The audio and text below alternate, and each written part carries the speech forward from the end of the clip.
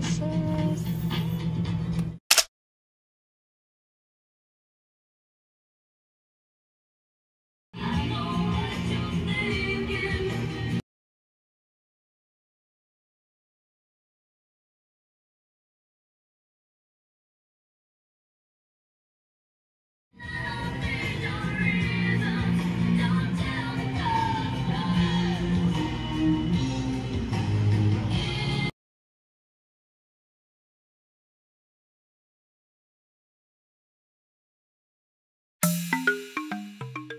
Yep, that's my dinner.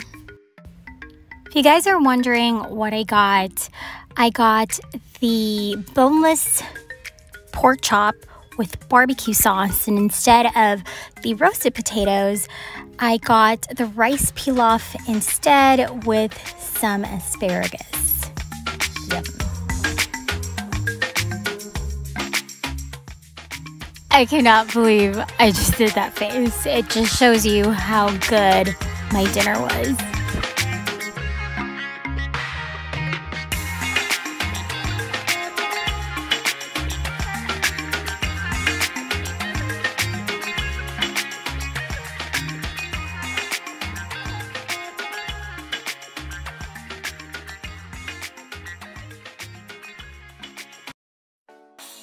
And you guys should definitely try one of their margaritas. The one that I got was the watermelon margarita.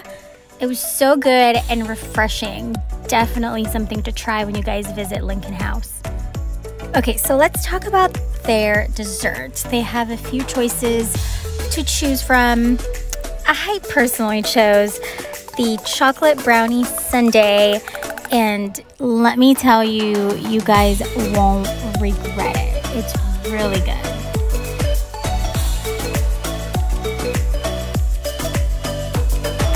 Done with dinner at the Lincoln House. Food's amazing. The ambience is so amazing. So you guys should try and visit them.